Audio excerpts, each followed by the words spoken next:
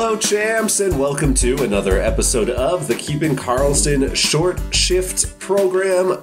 I am your host, Ben Burnett, and joining me, as always, Louis Ezekiel, and the E is for egregious leg injury to Douglas Hamilton. Louis, how are you doing tonight? Uh, better every time I close the tab that is showing the replay of Hamilton getting bent back over that leg. It looks really grim. It's disgusting, yeah. I think we've, I mean, from a very callous, dispassionate point of view, I think we've got to recommend that people bid on Jake Gardiner tonight uh, if they have fab bids or run out and grab him if he's available. But uh, obviously, we want to hope that that injury is not as bad as it looks, but we'll have to find out how Hamilton is doing a little bit later on. Well, yes, and we say that, but I don't believe that the the Hurricanes had a power play after Dougie went out of the game tonight. So the assumption is that Gardiner would take over on power play one. I don't think I'm going out blowing fab on Gardiner tonight, but I might throw a buck or two out there just because the upside is relatively high. Yeah, I'm not sure I have someone who I'm especially anxious to drop, so that may prevent me from trying to make a move. But um, I don't know. We'll see how things progress. Yeah, so uh, as Lewis mentioned, maybe don't go out and find the replay, but just know that we may be looking at a multi-week injury for uh, for the probably the the Norris favorite at this point, Dougie Hamilton. Certainly, you know, having the breakout season that we've been hoping for him for ages you know, just good to see him finally get a spot where he was getting full access to that top power play. Very disappointing, of course, to see it potentially derailed by such an injury. Absolutely. Uh, our number one headline tonight, I mean, at least when we prepped, obviously the Dougie Hamilton news has superseded quite a bit from the fantasy perspective, but number one has to be in Vegas where Gerard Gallant is out and Pete DeBoer is in in Las Vegas for the Golden Knights. Uh, the Knights did not have a skate this morning, and they did have a game tonight, but it was announced just before the game that William Karlsson will be out week to week. Uh, that's obviously going to affect the line since he's coming off the top unit with Marchessault and Smith, where he's been playing for about three years straight. So it's kind of hard to read into these lines too much. Uh, we were chatting with Brian and Elon earlier today, and they said that they will be discussing the coaching swap more in depth on Sunday's show. What we've started with in the meantime, though, is Marchessault and Smith with Chandler Stephenson, Pacioretty, Stastny, and Stone on line two, and then Alec Tuch all the way down on line three with Eakin and Nosek. Kind of what we were discussing on Tuesday when we talked about the return of Jonathan Marchessault. You're interested to see what Stephenson can do on a decent line. It's nice to see Stastny back in the top six, and it's still a bummer for Tuch all the way down on line three overall, I'm I'm kind of just bummed out about this. I thought that Gallant did a great job with an expansion squad in Las Vegas that you know no one really had high hopes for. Yeah, I think you and the the analytics folks on Twitter were really having some problems with this just because some of their issues lately are the result of a big time dive in PDO that seems likely to regress, you know, just not having very much puck luck. But at the same time, you know, if you're looking at it from a results based standpoint, there's an argument to be made that it's unacceptable for Vegas to be out of the playoff race in the Pacific, which is a pretty weak division. That being said, it's so tight, you know, two week, uh, two games from now, they could lead the division. It seems clear that they're going to be victorious in tonight's, uh, Thursday night's game.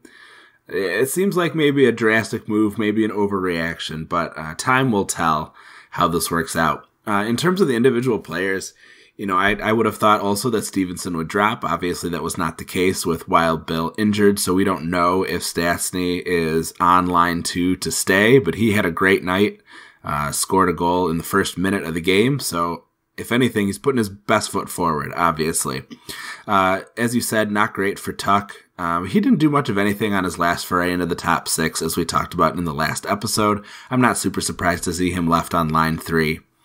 Uh, we talked some last week about how Micah Blake McCurdy's numbers suggested that John Hynes could maybe improve the offense in Nashville without hurting the defense compared to compared to Laviolette.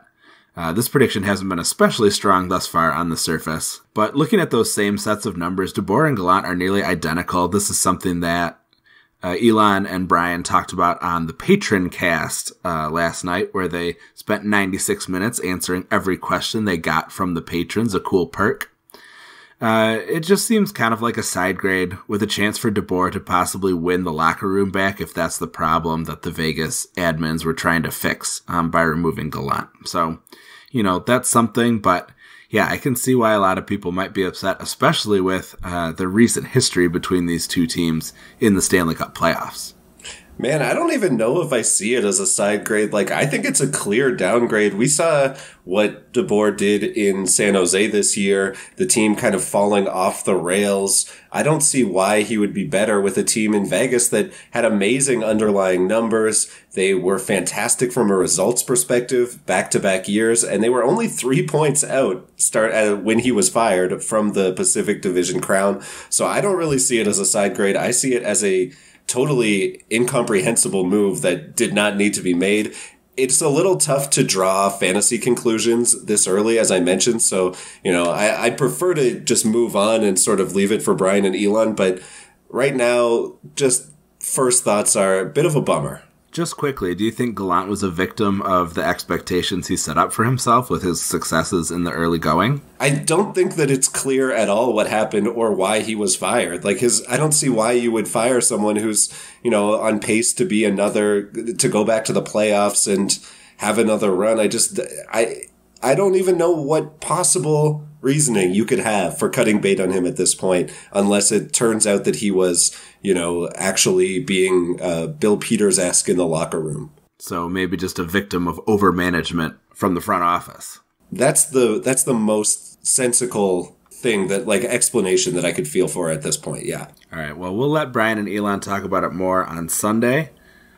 Uh, let's talk about the goalie situation in New York. Oh my God, Lewis, a man after my own heart here. You want to talk Rangers? Let's get right into it. Uh, obviously, the Rangers called up Igor Shestyorkin early last week, and he posted two wins immediately. You would have thought, hey, why not let it ride with the kid? But of course, instead, the Rangers went with Lundqvist the next game and Georgiev the the following. Looks like we were on a bit of a goalie carousel, which then theoretically would lead back to Shestyorkin for the the game after Georgiev, but instead they put Georgiev back in net for a second straight start against the Islanders. Georgiev was excellent again tonight. He made 21 of 22 saves in the first period, which is ridiculous. And then the Rangers game just ended with a win for the Rangers. Uh, Georgiev wound up making 38 saves on 40 shots in an incredible performance. I mean, it's difficult to argue that they made the wrong decision starting him, but you know, what's the point of calling up Shestyorkin if you're just going to leave him in the press box for four straight games, right? Like, I, I just don't understand. If we've learned one thing about goaltending in the NHL over the past few years, it's that a three pronged attack really doesn't make sense. So I'm just confused about what's going on where is this carousel going to land? It can't possibly continue like this. It seems like the place that this is heading is trying to showcase Georgiev for a trade potentially, since they are unlikely to sell off Lundqvist, who, you know, obviously there's a ton of institutional memory for him. Uh, and, you know, he doesn't have super appealing numbers that I think someone is anxious to go out and grab him. Uh, so until they can find a trade partner, and it can be tough to find the right partner, the right deal. We may see this continue for a while. I, I agree with you. I think send Shestyorkin down so that he can get some starts at the AHL level and keep his momentum going. Having three goalies up. You know, we've seen it happen a couple of times over the last few years, and as you said, it's rarely been successful. Let's make something happen here, uh, Rangers front office. Either make the move and ship Georgiev out, especially after this great performance, uh, or let Shestyorkin get some starts until things are more settled at the NHL level. Well, sure, but I mean, you you're watching Georgiev perform, and he's been amazing. Why wouldn't you want to keep Georgiev and Shestyorkin if you're the Rangers? Lundqvist reaching the end of his tenure. Of course, you have kind of that Carey Price level of. Uh, I don't actually want to say it like that. I'm just in Canada, so it feels that way. Sorry, cut all of this. You obviously you have the New York Rangers icon in nets every couple of games, and as a Rangers fan, I'm definitely not advocating that they get rid of Lundqvist, but you could see either Georgiev or Lundqvist being the one on the way out. Why are they then continuing to roll out Shestyorkin when you could just be sending, keeping him in Hartford or, you know, you could, I, I just don't know. I don't truly know where we're headed because all options seem like they're on the table. A lot of people have talked about a Georgiev trade. That's fine. But if it's going to happen, why don't you go out and get it done? I would assume it's because they're not really getting the package that is available to them. So for now, I guess you're holding on to Georgiev. I don't think that it's worth holding on to Shestyorkin or Lundqvist right now. Is this is this fantasy advice, or am I just shaking my head, shrugging my shoulders, and saying, "Well, like I, I, just don't know. The Rangers, for their part, have actually been pretty good lately, shockingly. Uh, the last 10 games, they are a 51.3% expected goals for squad. If you match that with good goaltending, you, you're pretty much talking about a playoff caliber team. So I, I just, I wish I knew what to tell people, you know, as a Rangers fan, I have a lot of people asking me about Shestyorkin, asking me about Georgiev, asking me about Lundqvist. I don't know what the team is going to do, and it's frustrating. You know, there's not a lot of incentive for other teams to throw a line to the Rangers. You know, they've put themselves in this position of having a three headed monster. Uh, and when your opponent is is struggling to stay afloat, throw them an anchor, not a life raft, right? I guess. Sorry, I'm I guess, but in general, you're talking about a team that has very low ambitions for this year. Like maybe you make the playoffs and don't make any noise. So I think most of the like in most ways, the Rangers have something they could offer a team. Like Alexander Georgiev would give the Toronto Maple Leafs, for example, the opportunity to rest Frederik Andersen down the stretch so he can perform in the playoffs this year. I, you know, that's just one example, but I, I think that what they have to offer is more than what other teams would lose by helping them out in this situation. And if you're not going to do anything, in my mind, if you're going to sit Shestyorkin for three games, why don't you just send him back down to the minors to play games in Hartford so he can keep the engine warm rather than leaving him cold in the press box? I'm with you on this free Shestyorkin team, and I just want to see him playing in more games. I think that would be way more interesting. You're right. From a management standpoint, make a deal, or send him down. Those seem to be the only two options, and yet here we are shuffling through three goalies for the time being. Lewis, let's get into it tonight. Of course, on a Thursday, we are going to be doing the Patron 5, our weekly deep dives into five players as voted on by the Keeping Karlsson patron only Facebook group. You can become a patron at keepingkarlsson.com slash patron in the Facebook group. Every single week we have our patrons vote on five players they want to hear a little bit more about than just the surface level conversation. And so we are going to go deep on these five specific players slash situations. And we're going to start out in Sunrise, where Vincent Trocheck, as Elon said in the poll that you posted the other day, Trocheck on a four game point streak, is he legit again? So as Elon is alluding to, Trocheck started the year underwhelming on a 51 point pace through the first 34 games of the season, pacing for only 177 shots through that period too, which is his lowest pace in any of his past five seasons. Suddenly, though, Trocheck is on fire with six points in the past four games. Unfortunately for Trocheck owners, the recent point streak isn't really coinciding with any type of uptick in time on ice, on the power play, or at even strength. So, in fact, he's only really topped 17 minutes of ice time during this point streak once, way down from 27-18, the year where he put up 75 points, while playing over 21 minutes per night. The one positive in this recent stretch of games is that over the past 10, Trocheck has been shooting quite a bit more, and he's actually upped his shot pace to 210 shots over a full season. If he can continue that pace, I think that he can get those goal totals up. He has six goals to start the year. I think that could look quite a bit closer to 20 to 25, assuming he can shoot 210 pucks over this season. Still, though, absent improved line mates or power play deployment, I struggle to see him getting back up to that 70 point pace from a few years back. You know, he's still playing with Noel Acciari and Brett Connolly. He's still off the top power play unit. So to me, he's back in the 60 point pace club for me, but that's as high as I'm really willing to go. It's up from the 50 points I projected him for when we chatted about him in a patron five a few months back. But, you know, I'm, I'm not going crazy for Trocheck. I'm not selling the farm to add him to the team. But yeah, I, I think that he remains a decent depth guy. And if you get credit for peripherals, all the better. Yeah, I think a 60 point Trocheck is pretty exciting because of the peripherals that he provides. That makes him a good kind of middle of your team type player. Uh, you know, as good as a 70 point guy who's maybe not getting those peripherals depending on your, your league setup. I think that people should be quite excited, I think, to, to see him getting back on track. It does certainly, as you say, make it look like those 75 points were the outlier for his career, barring you know, getting back some of that super prime deployment that he was enjoying. But like we said, this is a productive guy, and it's nice to see him kind of get back to his more typical scoring ways and not being kind of stuck way down in, you know, sort of the nadir of a lot of his offensive statistics. Yeah, I think that's a really interesting point that you made about him being kind of better than a 70 point guy with no peripherals. Um, that's sort of where I'm at as well. I, I like Trocheck in a bangers league, especially. So, Lewis, why don't you get into the next player on our patron five list? All right, so we've got a player on quite the hot run right now, uh, nominated by Greg Sawchuk. Dominik Kubalik. Is he legit? This pace he's on isn't likely sustainable, but could he be a long term hold? And this was a guy who got a lot of votes on the Patron 5. Uh, Kubalik, if you don't know, was a 2013 seventh round pick of the Kings who was traded to Chicago for a fifth round pick. Dobber Prospects rates him as a 6.5 prospect, meaning they see him as a 65 point NHL forward at some point.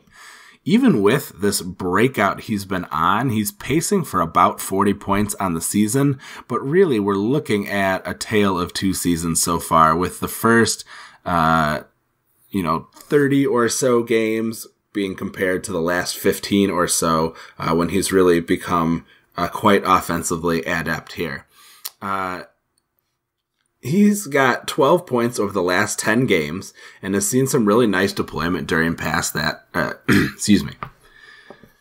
Kubalik has 12 points over the last 10 games and has seen some really nice deployment during that time. Over these past 10 games, he's on pace for 110 points if he maintains it over an 82 game season.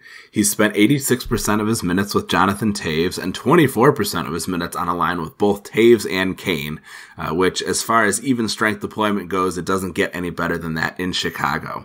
His power play time has been pretty limited. He's only broken two minutes of power play time on ice in three of those games and taken 30% of the total power play time on ice during that time period. Uh, he's only recorded a single power play assist, but the damage he's doing at even strength is really impressive. Uh, his current shooting percent isn't sustainable, 27%. Uh, eight goals on 29 shots over the last 10 games, and he was extremely close to getting another one uh, during the Wednesday night match. Uh, but his overall numbers aren't too out of whack. He's scoring right around his individual expected goals number. And while shooting 16% on the season may be a little high for him, we really don't know what his, you know, where he might settle on the NHL level. Uh, again, that's being goosed by this recent 27% success that's been over half his goals. So more than half of his goals coming in the last 10 of his 46 games.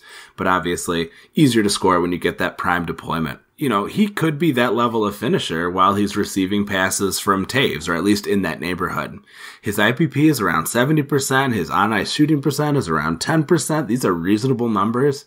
And he's not even been super sheltered. He's starting just 47% of his non neutral zone faceoffs in the offensive zone. Uh, so while I and probably very few others save Mama Kubalik, uh, don't think he can keep up a hundred point pace. Uh, if his shooting percentage regresses back down to the season, season average of 16 and he keeps up his three shots a game pace, he'd score 17 more goals and end the season with 32, which is pretty darn good for a guy that you are likely picking up off the waiver wire. Uh, as long as he stays on a line with Toews, I think Kubalik is a hold. Uh, and I'd be willing to drop or trade guys like Jamie Benn or Rickard Rakell to get him. And I recognize that in the time that I, between prepping this and presenting it here on air, both of those players have scored. Uh, but that should make them all the more appealing to potentially offer them in a trade here. So you would trade Rickard Rakell or Jamie Benn, not just drop them, you would trade them to someone for Dominik Kubalik? Yeah, I think so. I don't think I would. In a one year? No, I mean, so in a, in a in a one year, I think that the drop makes sense because then you're hoping that the overall slump keeps them down, and if they start to turn it around, you could maybe grab the guy that you dropped. But if you're in a league where you're trading them, then you're trading them to people who are going to be holding on. I, I think that you could wind up with a waiver wire player if you know if the worst case scenario happens Jamie Benn to me, as I've mentioned him before, I think he's still a 60, 65 point guy. I think that I would hold on to him. Uh, Rickard Rakell in that same sort of, I, yeah, I think I've downgraded Rakell enough that I could see making that deal. I just, I, I don't know why. I know Elon on the recent, was it the patron cast or the podcast where he said he's done with Benn forever? Uh, to me, I, I get it if you're talking about, you know, point per game, Art Ross trophy winning Jamie Benn, but if you've downgraded your expectations and you're looking for a 60 point player with peripheral upside, then I think he's too good to let go. Okay.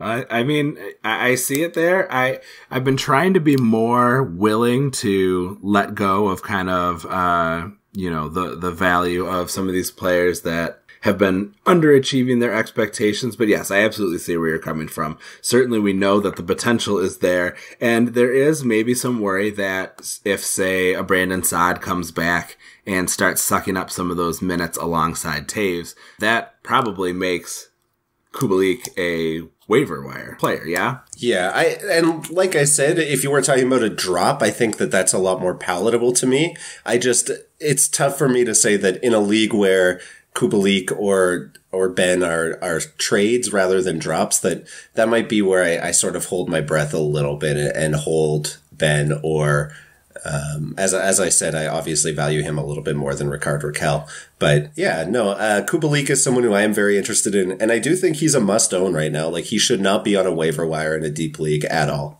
Well, this is a good time to remind folks that if they want to get in touch with us and call our takes too crazy or criticize or compliment in any other way, uh, we can be followed on Twitter at AVG Time on Ice. Uh, and you are, we love to interact with, with our followers, so uh, please give us a shout, even if it is to call me a lunatic here. Well, I actually think that I will be the unpopular one for saying that good things about Jamie Benn because I, I, think that the fantasy hockey world is is very in love with Dominik Kubalik right now. Let's move on to the third player on our list here, and he is someone I've talked about before on this list, but in a much better context. Anthony Duclair, as patron Bob Law says. Zero points, four shots on goal in his last four games is Duclair's snoozer territory.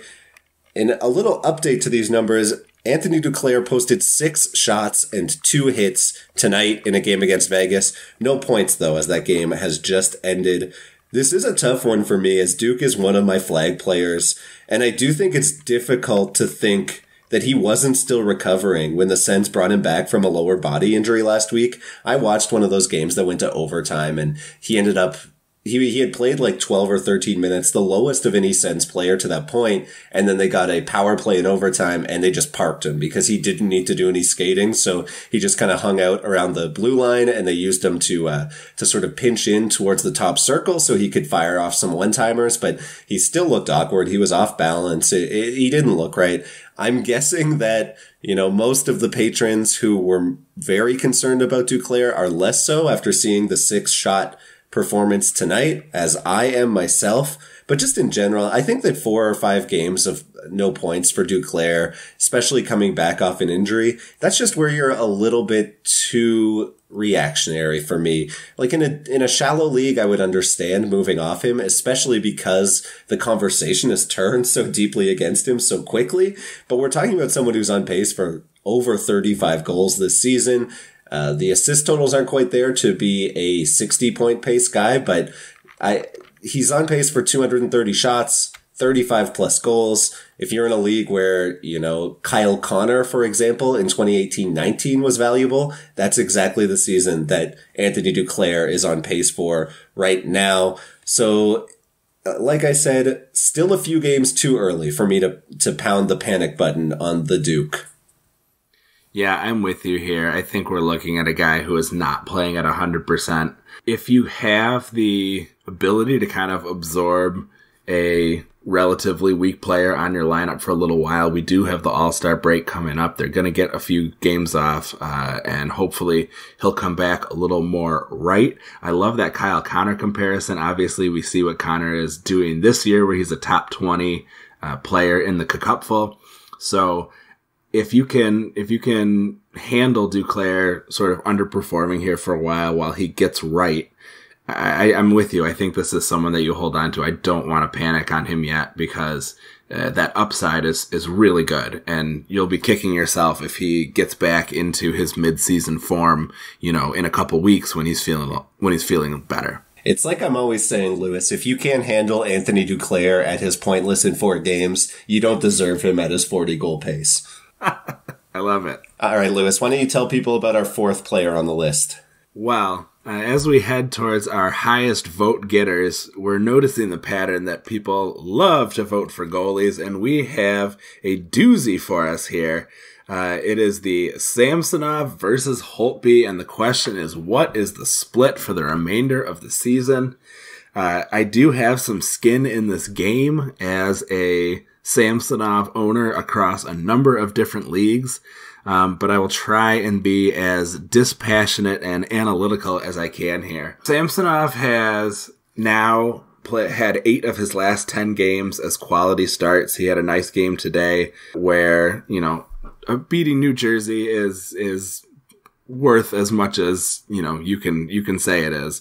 Um, but they have had some limited offensive success. You know he gave up the uh, standard blake coleman shorthanded goal which seems to come in just about every devils game but uh, played really nicely. So eight of the last 10 games are quality starts. He had a little blip of a game where he went in in relief and gave up one goal on four shots but you, it's hard to hold that against him Holtby, by comparison, you have to go back to December 21st to find a Holtby start above 900. You know, and it just has been really grim for him. And unlike some of these other situations, you know, look at Bobrovsky in Florida, where it seems like he's getting outplayed by this Chris Driedger guy. There's no real incentive for the coaches or the administrators in Washington to play a bunch of Holtby starts when it seems like you know, he is unlikely to be around for the future. A lot of the Caps folks in the know think that the Backstrom deal that was signed this week indicates that Holtby is done in Washington, that they're not going to be able to re-sign him. Dom Luszczyszyn is out there writing articles about not falling into the trap of huge long-term goalie contracts uh, Bobrovsky, Price, Vasilevskiy, he brings up as examples of where that can be dangerous, and he talks about Holtby potentially being someone's next mistake. So, and we've seen this before, right? Grubauer stole starts from Holtby previously during a similarly bad stretch, and that was with Grubauer as a pending UFA and Holtby still under contract. So there's even less of a reason to stick to the status quo when the front office is likely thinking about seeing what Samsonov offers down the line here, and it seems as if they've seen enough to say, you know, we can sign Backstrom to this deal that maybe does not leave us with enough cap room to bring Holtby back. So, that being said, you know, there's some risk in grabbing Samsonov because you've got uh, an established guy there. All it would take would be a few bad games or a few good ones from Holtby to sort of reverse the current trend. But I am willing to guess that Samsonov would get 60 to 70% of the starts moving forward. He's got two losses and one overtime loss, and I believe 13 wins now uh, after this most recent game. So he has been just outstanding. He's been winning almost everything he can.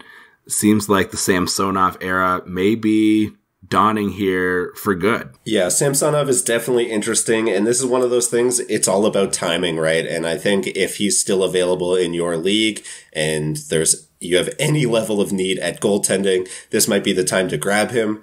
Lewis, I do think you may have lost a few people talking about how Vasilevskiy is in the ballpark of a Bobrovsky or Price type overpay.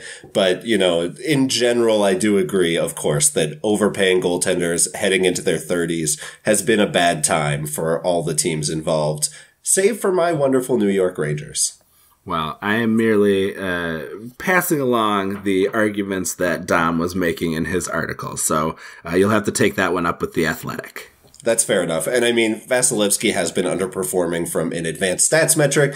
We're, of course, a fantasy hockey podcast, so we're not worried about the underlings. We just care about results, baby. Uh, so yeah, go ahead and get Samsonov if you can. Holtby, is Holtby a drop if Samsonov, this is, so this is what we've been receiving on Twitter the last couple days. People have been asking us, are you dropping Holtby to add Samsonov?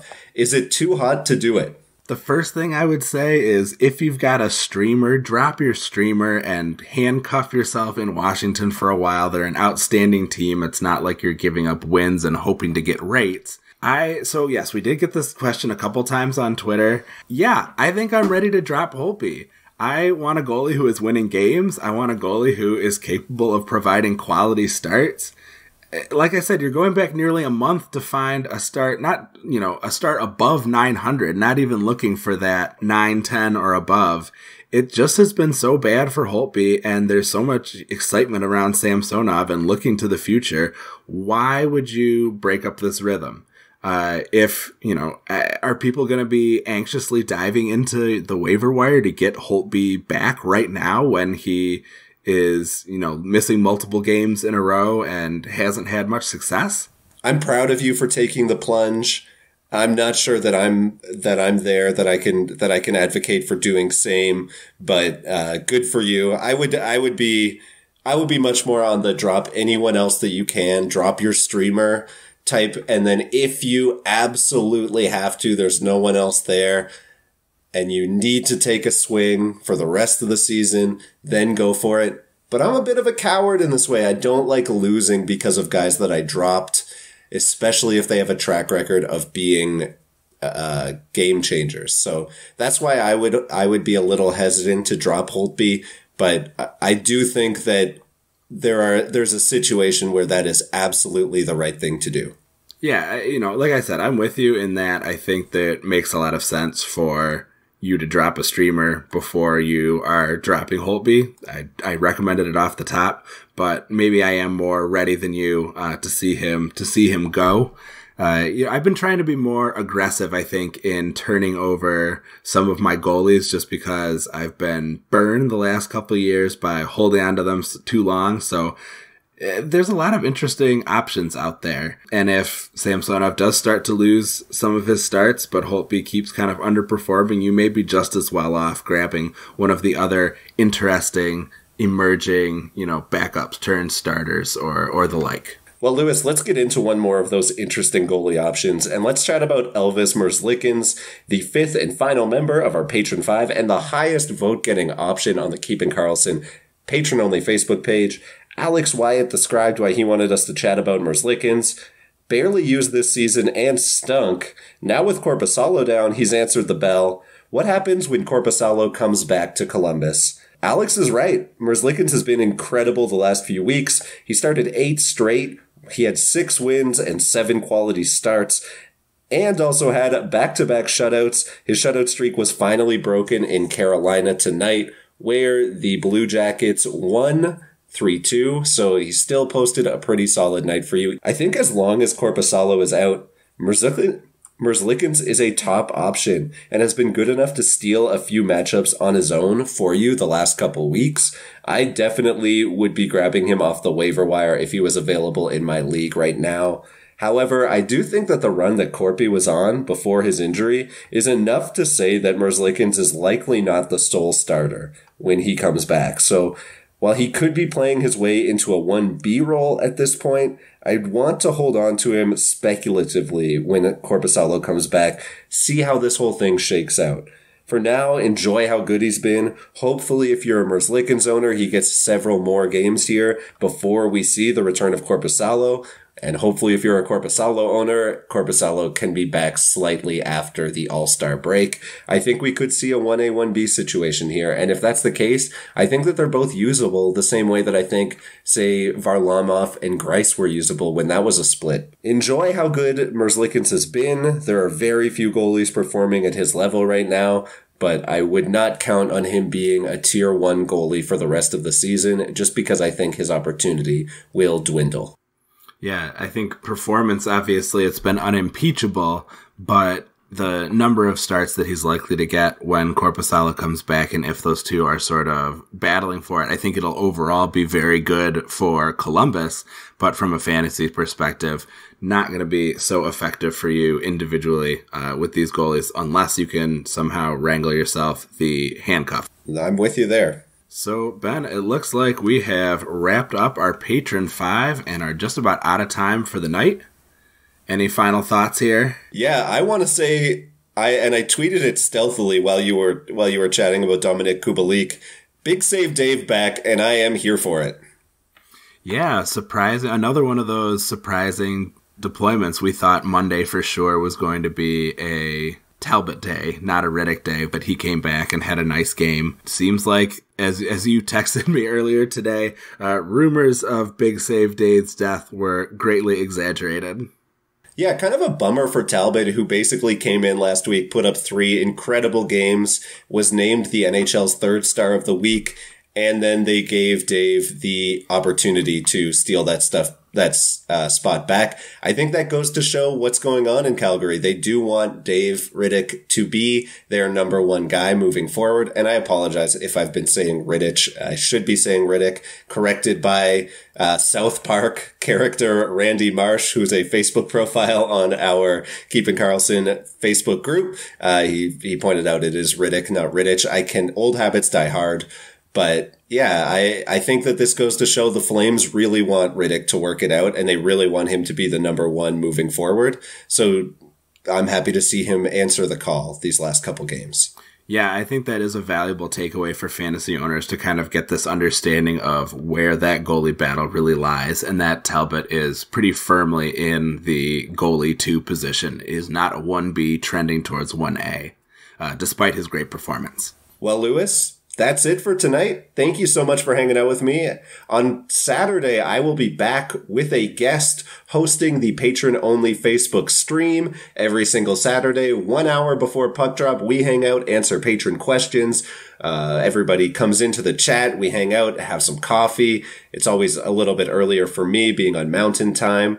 But uh, thank you so much, dude. And I will see you next week. All right. Much appreciation to Yahoo Fantasy, Natural Stat Trick, The Athletic, and Dom Luszczyszyn uh, for helping us research our episode. Thank you for the patrons for making this an easy episode to plan by telling us what players they want to hear about and what they want to hear about them. Really excellent. We are signing off, and until we see you next week, make sure you play smart and keep your shifts short.